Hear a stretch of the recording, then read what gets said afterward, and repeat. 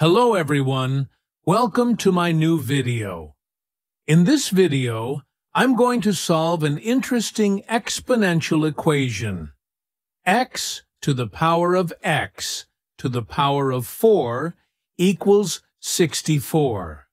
Now, applying this exponential rule a to the power of b to the power of c is equal to a to the power of b to the power of c.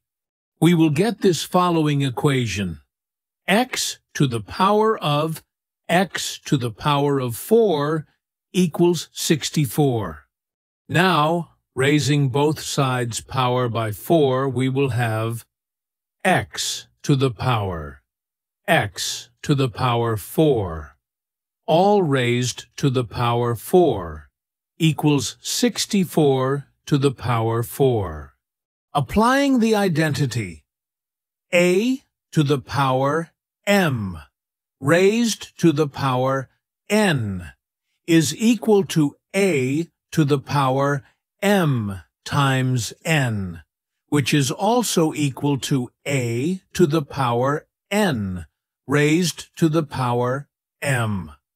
We can write x to the power 4, raised to the power x to the power 4, is equal to 8 squared, all raised to the power 4.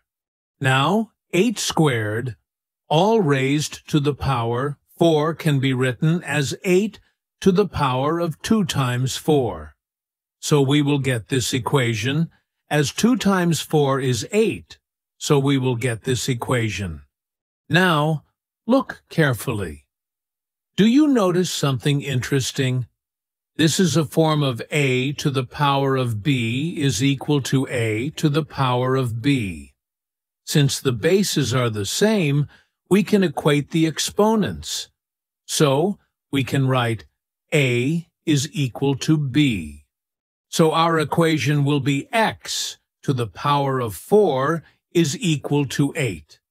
Now taking square root to both side, we will have this equation.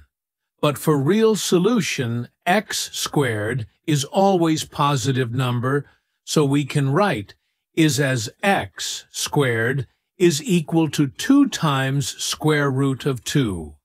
Now, taking square root to both side again, we will get this. Finally, we will get the value of x is equal to plus or minus square root of 2 times square root of 2. And that is our answer. But wait, I've got one more challenge for you.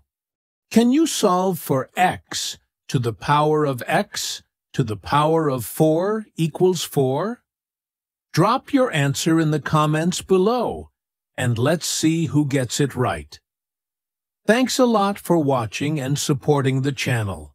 Until next time, bye for now.